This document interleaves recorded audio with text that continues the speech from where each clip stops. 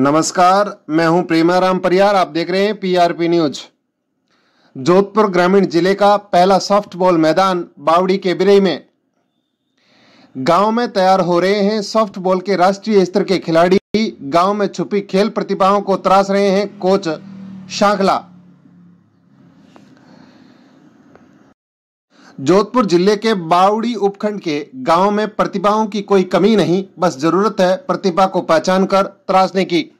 कहते हैं, असंभव कोई चीज़ नहीं, सब संभव हो सकता है। मानो यदि मन में ठान ले तो सब कुछ कर सकता है। ये पंक्तियाँ साकार कर रहे हैं राजकीय उच्च माध्यमिक विद्यालय बिराई के शारीरिक शिक्षक व सॉफ्टबॉल कोच बिरमा राम माली, जहाँ ग्रीष्मकालीन अवकाश के दौरान शिक्षक अलग अलग स्थान का भ्रमण कर अपना समय व्यतीत करते हैं। वहीं बिरमा राम सांगला सॉफ्टबॉल खेल कैंप आयोजित कर खेल प्रतिभाओं को तराश रहे हैं। जहाँ बच्चे सॉफ्टबॉल को जानते नहीं थे, आज बच्चों में सॉफ्टबॉल खेलने का इतना क्रेज कि सुबह छह बजे मैदान में पहुँच जाते हैं। बंजर भूमि को बनाया जिला स्तरीय खेल मैदान।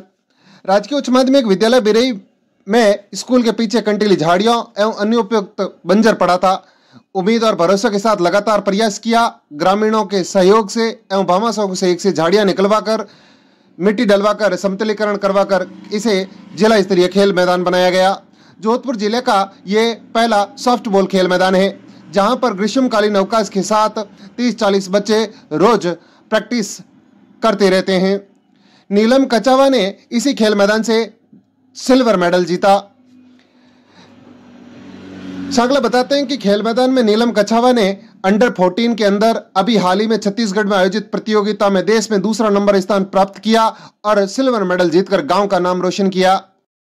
खिलाड़ी नीतीश कहते हैं कि सॉफ्ट बॉल का बहुत शानदार मैदान और बेहतरीन कोच से वो नेशनल खेलना चाहते हैं। मेरा नाम नितेश है। हम गाँव बिरई में पढ़ते हैं। राजकीय माध्यमिक विद्यालय बिरई बावड़ी, जोधपुर। हम यहाँ सुबह सात बजे से लेकर नौ बजे तक सॉफ्ट बॉल खेलते हैं। हमारे कोच बीरमा राम जी सांकला। कितने टाइम से प्रैक्टिस कर रहे हो? एक महीना हो गया एक महीना हो गया। अब आप पहले खेलते थे या इसी गर्मी के सीज़न में इस जो अभी मैदान नया लगा उसमें खेल रहे हो? नहीं स्कूल टाइम में भी खेलते हैं। स्कूल टाइम में भी खेल रहे हो। आपने किसी राज्य या जिला स्तरीय टीम में प्रतिनिधित्व किया है? नहीं। नहीं किया है। उसके लिए प्रैक्टिस कर रहे हो? हम्म। किस तरह से है इस गेम को सिखाया जा रहा है? मतलब एक टीम में नौ प्लेयर होते हैं। कैचर पिचर और फ़र्स्ट सेकंड थर्ड बेस और आउटफील्ड और ऐसे सेंटर आउट फ़ील्ड होती है। और बैट्समैन होते हैं इसमें। इस तरीके से अच्छा तो ये बिरमाराम जी किस तरह से आपको प्रशिक्षण दे रहे हैं? ये हमारे साथ ही आते हैं। सात बजे आते हैं और नौ बजे चले जाते हैं हमारे साथ में और अच्छा खेलाते हैं हमें। अच्छा बारीकी से खेलाते हैं। बारीकी से खिलाते हैं। और क्या कहना चाहोगे? और कुछ नहीं है कोच अच्छे हैं हमारे। कोच अच्छे हैं? स्कूल के हैं। क्या सपना है? हमारे। इस गेम को खेल कर क्या सपना है?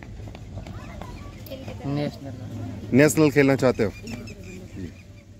ग्रामीण क्षेत्र में गोल्ड मेडलिस्ट हो रहे हैं तैयार। बिरमाराम सांकला बताते हैं कि अच्छे उपकरण और अच्छे खेल मैदान से राष्ट्रीय स्तर के खिलाड़ी तैयार किया जा सकता है। उनके पास साठ बॉल आठ स्लाइगर और चालीस ग्लव्स के साथ उपयुक्त सभी उपकरण के साथ प्रैक्टिस की जा रही है। सर सॉफ्ट बॉल ग्राउंड को लेकर बताएँ। इस गर्मी की सीज़न में बच्चों की प्रैक्टिस। अभी सत्र 2023-24 में 17 मई से ग्रीष्मकालीन अवकाश हो गया है। लेकिन 17 मई 2024 से रेगुलर विद्यालय का जो शॉर्टबॉल खेल मैदान है, उसमें 25 बच्चे रोज़ाना सुबह सात बजे से साढ़े नौ बजे तक प्रैक्टिस के लिए आते हैं। हमारा प्रमुख जो उद्देश्य है, वो सत्र 2024-25 में जो जिला और राज्य और राष्ट्रीय स्तरीय प्रतियोगिता होने जा रही है, उसमें अच्छा से अच्छा प्रदर्शन कर हम मेडल को कैसे प्राप्त करें, गाँव, जिला और राज्य का नाम रोशन कैसे करें। छोटी छोटी चीज़ों को इन बच्चों को सिखाई जा रही हैं और खिलाड़ियों के द्वारा बड़ी गहनता से उसको ग्रहण किया जा रहा है। और हम चाहते हैं कि गाँव का नाम जब रोशन होगा तब बच्चा इस साल की तरह जो नेशनल मेडल लेके आएगा। क्योंकि समय के साथ साथ में खिलाड़ियों को समय देना अति आवश्यक है।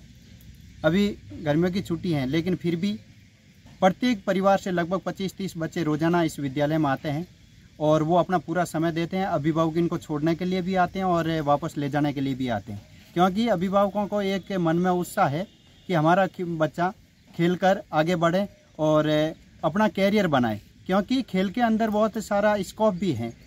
अच्छा खिलाड़ी आउट ऑफ़ टर्न पॉलिसी के अंदर राजस्थान सरकार ने दो परसेंट कोटा दिया है, उसके साथ सीधी भर्ती में नौकरी लग सकता है।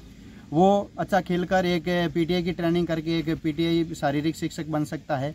वो एक अच्छी ट्रेनिंग प्राप्त करके एक टीम का कोच बन सकता है। तो वो सभी छोटी छोटी चीज़ें इनको मौखिक रूप से बताई भी जा रही है और भविष्य में जो बच्चे ट्वेल्थ पास कर चुके हैं और इस विद्यालय से जो पास आउट होकर जो ग्रेजुएशन कर चुके हैं, उन बच्चों को हम स्पोर्ट्स के लिए मोटिवेट भी कर रहे हैं और शारीरिक शिक्षा में स्कोप को कैसे प्राप्त किया जा सकता है, उसके लिए भी उनको मार्गदर्शन कर रहे हैं। सर, इस विद्यालय के अंदर ग्राउंड किस तरह से तैयार हुआ? किस तरह की मूलभूत सुविधाएँ जुटाई गई? और किस तरह से शारीरिक स्टेमिना को लेकर भी यहाँ बच्चों को खेल के गुर सिखाए जा रहे हैं? जब मैंने यहाँ 18 अक्टूबर 2021 को विद्यालय में कार्य ग्रहण किया तो जिस स्थान पर मैं खड़ा हूँ, यह खेल मैदान एक बंजर भूमि के रूप में कंटीली झाड़ियाँ से लबरेज था। लेकिन धीरे धीरे विद्यालय के प्रशासन के सहयोग से और विशेष संयोग रहा। प्रधानाचार्य का तो संयोग रहा, लेकिन विशेष सहयोग गाँव के भामाशाओं का रहा। जिसमें भामा भामाशाओं ने बढ़ चढ़कर इस विद्यालय में खेल मैदान को समतलीकरण के लिए जो आर्थिक सहयोग दिया है, उसके लिए मैं पूरे गाँव वासियों का शुक्रगुजार हूँ, क्योंकि उनकी बदौलत आज हम यहाँ इस ग्राउंड में खड़े हैं। पिछले साल डिपार्टमेंट ने हमें जिला स्तरीय टूर्नामेंट के लिए कॉल किया था और हमने उसको स्वीकार भी किया। और स्वीकार करने के बाद में हमने कम समय में, आठ दिन का समय में हमने इस ग्राउंड को साठ हज़ार रुपये की लागत से एक परिपूर्ण रूप से तैयार किया।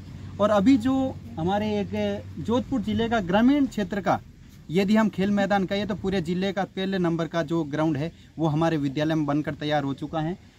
स्थायी पोल लग चुके हैं और उसके बाद में साथ में परमानेंट नेट भी लग चुकी हैं, क्योंकि बिना इक्विपमेंट एक खिलाड़ी को तैयार नहीं किया जा सकता है। विद्यालय के अंदर जब हमने कार्य ग्रहण किया तो शॉर्ट बॉल नाम की एक भी बॉल नहीं थी। लेकिन आज वर्तमान के अंदर पचास साठ बॉल भी है, चालीस ग्लव्स है। हमारे पास में चार बैट है जिसको सलाइगर बोलते हैं। जिसकी लागत भी बहुत, अभी एक पच्चीस हज़ार का सलाइगर और लेके आए थे। एक पंद्रह हज़ार का है, एक नौ हज़ार का है, एक पाँच हज़ार का है। तो जो एज ग्रुप है, जैसे अंडर फोर्टीन है, सेवनटीन है, नाइनटीन है, या गर्ल्स है, या बॉयज़ है, उनके लिए सब के लिए अलग अलग तरह के वज़न के सलाइगर भी हमारे पास में उपलब्ध हैं। भामाशाओं के संयोग से भी हमने सामान को प्राप्त किया है। अभी जो रामधाम राम चौकी ट्रस्ट जो द्वारा जो हॉल का निर्माण करवाया गया था, उस हॉल का निर्माण करवाने में जिस ठेकेदार ने कार्य किया, उसने भी अपनी तरफ़ से ग्यारह हज़ार रुपये का इस खेल सामग्री के लिए सहयोग के रूप में दिया है। तो उनका भी मैं तय दिल से शुक्रगुजार करूँगा, क्योंकि खिलाड़ियों के लिए खेल इक्विपमेंट होना अति आवश्यक है, और यदि खेल इक्विपमेंट होगा तो खिलाड़ी निश्चित रूप से आगे बढ़ेंगे।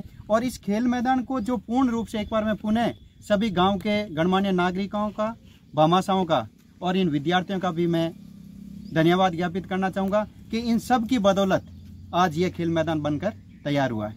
सर इसी खेल मैदान से आपके खिलाड़ियों ने राष्ट्रीय स्तर पर भी प्रतिनिधित्व किया क्या कहेंगे? जो ये मैं ये कहना चाहता हूँ कि जो राष्ट्रीय स्तर पर मेडल प्राप्त किया उसका नतीजा सबसे पहले हमारे को इसलिए मिला क्योंकि हमने जिला स्तरीय प्रतियोगिता करवाई और यहाँ गाँव के जो इस विद्यालय के 400 बच्चे हैं विद्यालय के, उन विद्यार्थियों ने देखा बारीकी से खेल को और खेल के प्रति उनकी रुचि प्राप्त हुई। अंडर 14 की टीम तैयार करने में हमारे को ज़्यादा असुविधा नहीं हुई, क्योंकि इन बच्चों ने खेल को देखकर बहुत जल्दी सीखे और जिला स्तर पर भी इन खिलाड़ियों ने गोल्ड मेडल प्राप्त किया। और उसके बाद में चार खिलाड़ी राज्य स्तरीय प्रतियोगिता में चयनित हुए, अच्छे प्रदर्शन के आधार पर और फिर राज्य स्तरीय प्रतियोगिता से एक खिलाड़ी का चयन राष्ट्रीय स्तरीय प्रतियोगिता में नीलम कच्छावा के रूप में हुआ और जिन्होंने शानदार प्रदर्शन करते हुए पूरे हिंदुस्तान में दूसरा स्थान प्राप्त किया। ये मेरे लिए मेरे विद्यालय के लिए और समस्त गाँव और ज़िले के लिए एक गौरव का विषय है।